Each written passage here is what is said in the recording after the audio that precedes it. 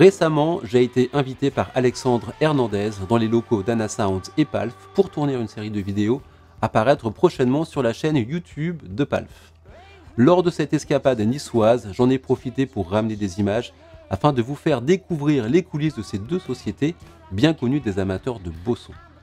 D'un côté, on a Anna Sounds, créée en 2013, qui conçoit et fabrique des pédales boutiques comme par exemple la Sandman, l'Utopia Deluxe ou la Full Story, et de l'autre, on a Palf, créé en 2020, une chaîne spécialisée dans les effets qui propose chaque semaine des comparatifs de matos, des sélections de pedalboard ou encore des astuces pour sonner comme vos guitaristes préférés. Palf, c'est également une boutique en ligne avec tout le matériel présenté dans les vidéos. Le reportage que je vous propose a été tourné une dizaine de jours avant la sortie officielle de La Grotte, la nouvelle reverb analogique à ressort d'Anna Sounds, conçue en collaboration avec Jack White pour sa gamme de matériel Third-Man Hardware. Vous y verrez des images inédites de cette pédale en cours de fabrication.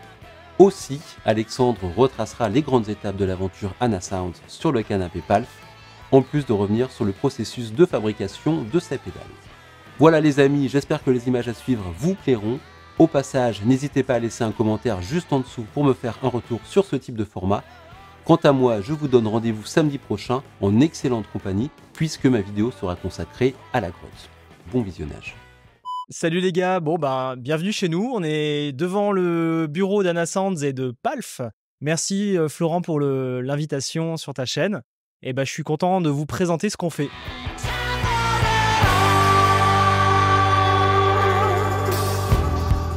Bienvenue dans l'atelier d'Anna Sounds. C'est ici qu'on fabrique chacune de nos pédales. Il y a trois grandes étapes. La première se passe ici, euh, même la troisième, c'est-à-dire fabriquer les cartes et les mettre dans leur boîtier. Euh, pour fabriquer les cartes, on a un atelier à côté qui permet de souder les composants à la main. C'est ça qu'on appelle le handmade, le soudé à la main, le câblé à la main. Euh, donc voilà, on câble nos propres cartes. On a aussi des composants montés en machine parce que bon, ça sert à rien de faire certains composants. Mais tout ce qui est important pour le son, on le soude nous-mêmes parce que c'est là où on va apporter le top quali. Au niveau euh, de la mise en boîte, en fait, c'est mettre la carte dans le boîtier, ça c'est pas très méchant, mais il faut faire attention à plein de choses. Et là, on est sur le banc test justement. Il faut à chaque étape, quand la carte est soudée, quand la carte est dans le boîtier, effectuer des tests. Donc sur une pédale, le tout c'est de connaître le son finalement. Parce qu'une pédale analogique, euh, en gros, ça va marcher. Sauf si tu as vraiment fait quelque chose de catastrophique. Donc si tu sais euh, comment ça doit sonner, ben, on a un looper avec tout le temps le même riff. Tout le temps le même riff. Euh, d'ailleurs, ça fait plus de 8 ans. Euh, peut-être qu'un jour on va changer ou pas. et on a des simulateurs d'ampli TuneNotes et comme ça on écoute tranquillement au casque. Et en ayant pas mal d'expérience, on arrive à se rendre compte des différences.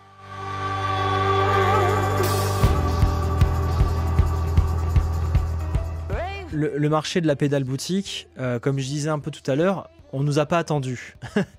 Néanmoins, on est quand même arrivé à un timing plutôt pas mal. Aujourd'hui, je le vois, on essaie de propulser des marques avec Palf, euh, des marques françaises, des marques étrangères. Le marché de la pédale est tellement blindé d'offres. Je le vois hein, quand vous regardez les vidéos, vous vous savez plus trop où mettre de la tête. Et moi aussi, hein, je, je, je, je reçois 300 pédales là en un mois, t'imagines 300 références différentes en un mois. C'est hallucinant et je parle même pas de Tube Screamer. Hein. Quand on me dit j'ai une nouvelle Tube Screamer, je dis bon, ok, c'est marrant, mais c'est bon, j'en ai plein. Donc en fait, on se retrouve sur un marché, un marché pardon, où il y a une suroffre, euh, vraiment une suroffre, alors que bah, la demande, elle, pas elle diminue, mais elle est quand même euh, concentrée. Et euh, soit on va apporter une innovation, soit on. Qu'est-ce qu'on apporte quoi? Une émotion et c'est ce qu'on essaie de faire aujourd'hui avec Sounds. Bienvenue dans la salle des machines. C'est là où on a fait nos plus gros investissements chez Anna Sounds. C'est ce qui permet de faire les boîtiers. Notamment là, on travaille sur la, série euh, La Grotte. On a plus de 1000 pièces à fabriquer. Et donc pour ça, ben, on a nos deux lasers qui tournent en parallèle. On a aussi un super compresseur. Toutes ces machines, je les ai achetées en France. C'est quelque chose qui me tenait à cœur. Même si ça m'a coûté un peu cher, au final, je m'y retrouve parce que bah, on a un contact avec les fabricants et le SAV est parfait. Le laser, il me permet d'un côté de dessiner des choses sur les boîtiers, que ce soit des plaques ou la peinture. Euh, de l'autre, le compresseur, il me permet d'alimenter une sableuse ce qui permet de faire des finitions euh, avant peinture qui sont très cool.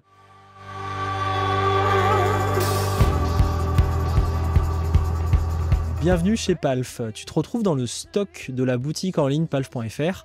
Euh, la boutique, on est spécialisé dans la pédale. On a plus de 3000 rêves de, pédales et euh, tu peux les retrouver sur euh, notre site palf.fr avec toutes les conditions d'une boutique en ligne particulière, enfin connue, par exemple les retours gratuits, les conseils avisés d'experts et un service client à ton écoute. Aujourd'hui, ben voilà, la chaîne YouTube que tu dois connaître, elle a besoin de cette boutique en ligne pour fonctionner. C'est ce qui permet de financer cette chaîne YouTube. Et on remercie tous ceux qui nous accompagnent et qui achètent sur le site aujourd'hui.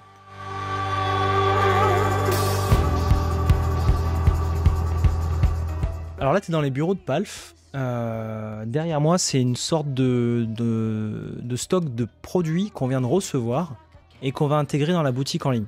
Avant que ça descende au stock, ben, déjà il faut en faire des photos, faire des textes, faut intégrer la fiche sur le site. Faut pas croire, mais une boutique en ligne, c'est quand même beaucoup de travail et surtout quand euh, ça nous tient à cœur et qu'on a envie de faire les choses bien. Euh, là, par exemple, bah, on a reçu euh, oh, des OneSpot Pro, on a reçu des Electro-Harmonix, on a reçu bah, tiens, la nouvelle antique de Cornerstone. Voilà, moi je suis comme vous, j'adore les nouveautés, j'adore gasser sur des nouvelles pédales. Et bien évidemment, je me fais hyper. Donc j'achète plein de choses. Là, on a plus de 300 pédales quand même qui sont arrivées dans les dernières semaines.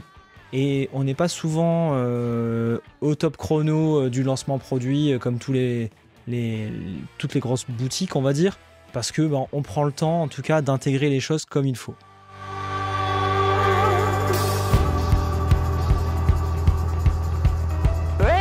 On a eu au final, on en parlait tout à l'heure, quatre grosses étapes. La première, finalement, c'est de passer d'artisan, de, créateur à entrepreneur. Ça, c'est déjà une, très grande étape qui m'a pris beaucoup d'énergie, beaucoup de temps, c'est-à-dire que j'ai démarré en 2013 avec ma compagne.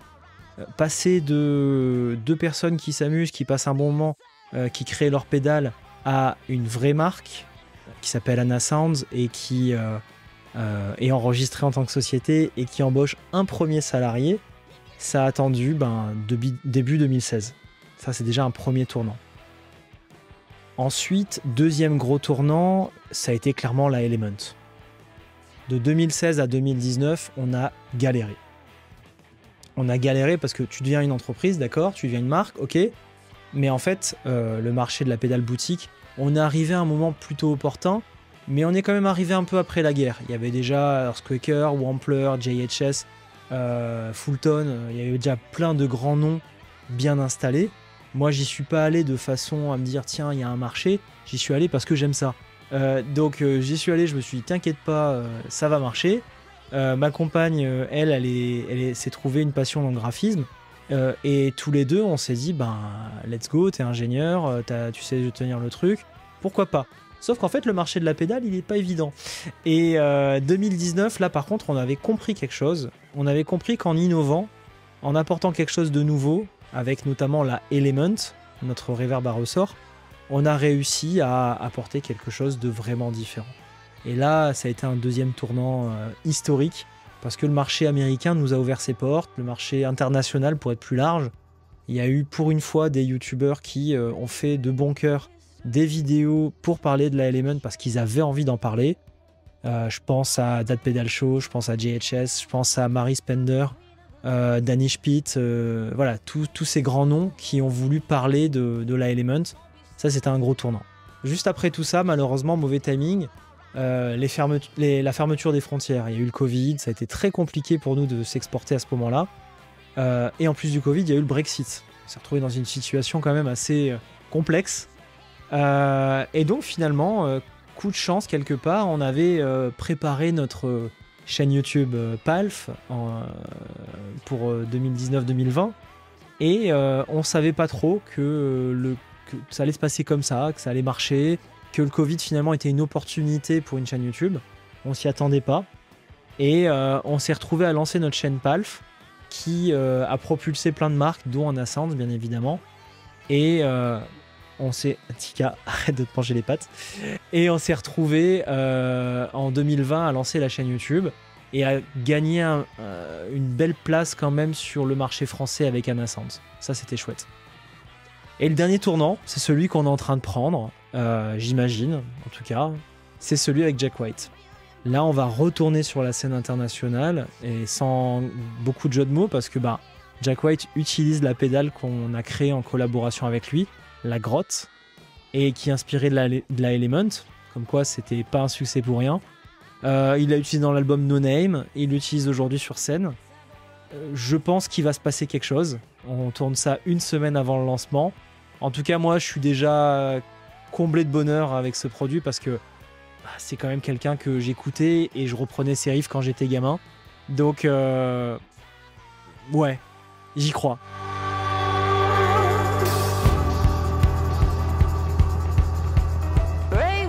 Le pedalboard d'Alex. Donc le pedalboard qui n'existe pas aujourd'hui, mais qu'il va falloir assumer. La Sandman, qui est notre duo euh, d'overdrive euh, phare. hein, euh, ça, ça prend une copie de Clone Centaur et de Tube Screamer, enfin une inspiration, hein, c'est pas exactement la même chose. Ensuite, il me faudra une fuzz. Pareil, je vais rester dans les doubles pédales parce que il me faudrait plus qu'une fuzz en fait. Moi, il me faudrait un truc qui combine fuzz face et soit Big Muff, soit Super Fuzz. Mais avec le chaînage qui va bien. Euh, je pense notamment à la, à la pédale qu'on va créer avec Julien Bitoun, la nouvelle Bitoun Fuzz 2. Euh, J'ai hâte, on en a déjà parlé en vidéo, donc je peux, je peux le dire. hein. C'est dans les projets, c'est en travail, ça arrivera un jour. Il me faudrait une reverb et celle de Jack White, ben franchement, c'est, j'ai pas envie de l'éteindre. En plus, elle a un beau petit préamp et tout, euh, donc la grotte. Bon, ok, je sais que je suis chez moi, c'est ma maison, c'est que du Anna Sound, mais je commence à avoir un, catalogue euh, qui est fait un peu à mon image aussi. Donc, euh, donc ça me plaît énormément. Et euh, bah tiens, Canvas Tuner, parce qu'il faut quand même pouvoir s'accorder, sinon c'est dégueulasse. Canvas Tuner de Walrus, qui est pour moi l'accordeur de hipster comme il faut. Il n'y a, a rien à dire sur cet accordeur. Et un délai, euh, bah, je suis très content de mon Utopia de luxe.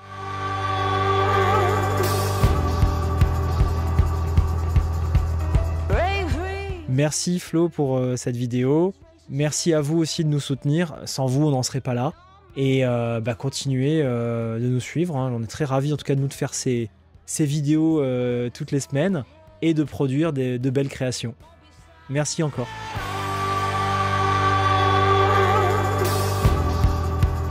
Voilà pour ce reportage, les amis. J'espère qu'il vous a plu. Un grand merci à Alexandre pour le temps qu'il m'a accordé. Et donc, on se donne rendez-vous samedi prochain pour la vidéo de présentation de la grotte. Allez, à très vite, les amis. Ciao, ciao.